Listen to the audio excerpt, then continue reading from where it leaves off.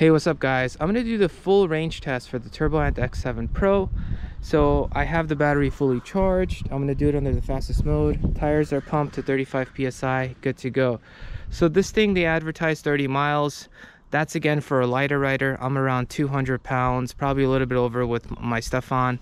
And I'm expecting to get around 16 miles or so from the scooter. There are a few hills, nothing crazy, very, very mild hills. It's mostly gonna be the flats. Anyways, if you guys enjoyed these types of videos, hit that subscribe button. Let's begin. I did the full range test in one go, as close to non-stop as possible, excluding stopping at red lights, stop signs, and stopping here for a minute or two to adjust something or change my GoPro batteries or take a sip of water. The whole test took about an hour and a half, and if you're wondering, is it comfortable? Well, the good thing is, after the ride was over, my back wasn't hurting and my knees weren't hurting, which is always a good sign. But in terms of comfort, I would say it's normal. It's definitely not the best because it doesn't have shocks, but it's also not the worst. The pneumatic tires definitely help, especially if you're on nice paved roads, and it also helps if you bend your knees.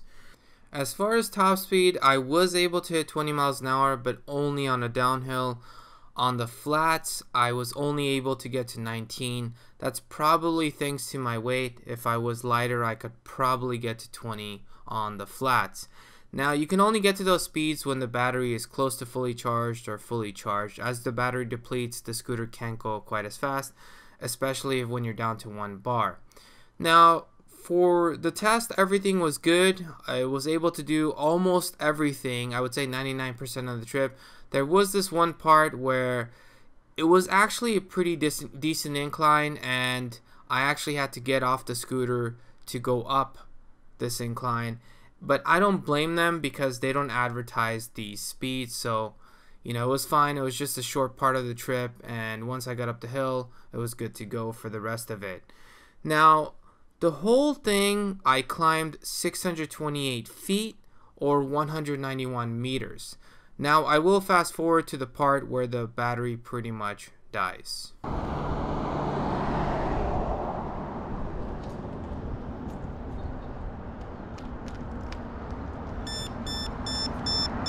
Alright, that's it. It's done.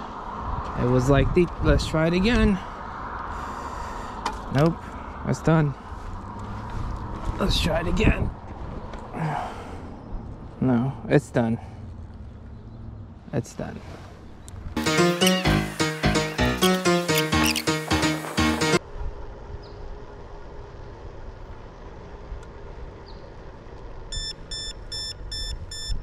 No, it's it's done all right guys just finished the range test. We got 27.1 kilometers on this track point. We got 27.2 on this track point in terms of kilometers. So we translate that to miles.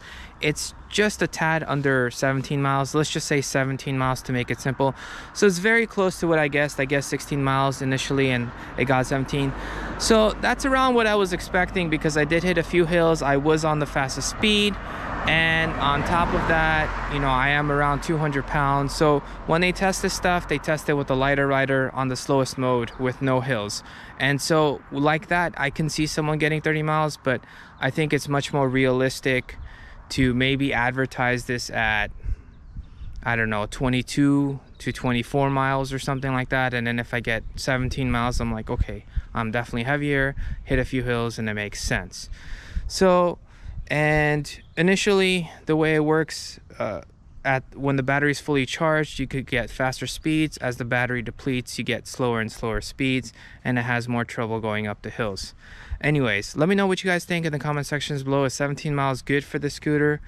Uh, yeah. Don't forget to hit that subscribe button. Thank you guys for watching and i'll catch you guys on the next one